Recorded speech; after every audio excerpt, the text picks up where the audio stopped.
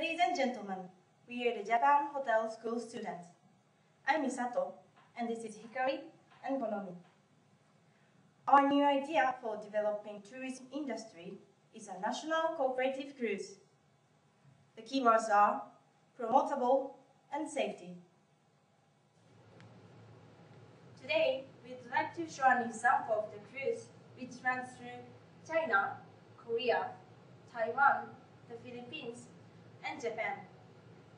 Our journey takes three days for each destination, and it runs through neighboring countries like a small circle. Therefore, the tourists will use our cruise as the transportation. Short sails enables people to experience a luxury cruise easier and it will fit their lifestyle. First of all, the main purpose of this project is stimulating tourism of each country. At present, all countries have issues of regional differences in tourism industry. Actually, in Japan, only four cities, including Tokyo, make up 90% of visitors, although we have over 43 attractive areas. Our cruise can promote unknown area to locate our waypoints in countryside. The local people and passenger will create new tourism industry through new and amazing experience in undeveloped area. It will develop based on our waypoints and spread over the countries. Secondly, this profitable new cruise will lead to safer travel environments. We will set original safety rules of each city surrounding ocean areas to provide our passengers a safe sail. Today, each country has different laws to protect the ocean area, and these differences can cause problems like uncontrolled pirates. Our project will lead to those nations making contracts to cooperate and improve security among their countries because our waypoints are only in cities which meet security standards. No country wants to make the ocean which their visitors use look dangerous.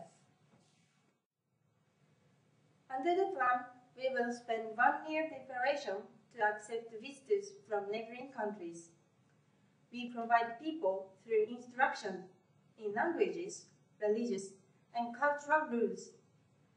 Likewise, information such as road signs and announcements will be prepared in the first year. We start operating this cruise in 2013. We estimate in 10 years, visitors will total 240,000 and profit will top $250 million a year. Once this cruise begins to take root in our lifestyle, we may also use it as freight transportation to make the cruise fare more reasonable. Transporting people and freight at the same time enables a variety of people to use our cruise easier. In conclusion, our project will attract many people for the short, luxury trips at a low cost. Meanwhile, it will make contribution to the development of new tourism industry. This cruise will support the nations improving their economy and security because it is national cooperative. After this Asia cruise operating is stabilized, we will operate this kind of cruise in many places. And in the near future, there will be no regional differences and the world will be safer.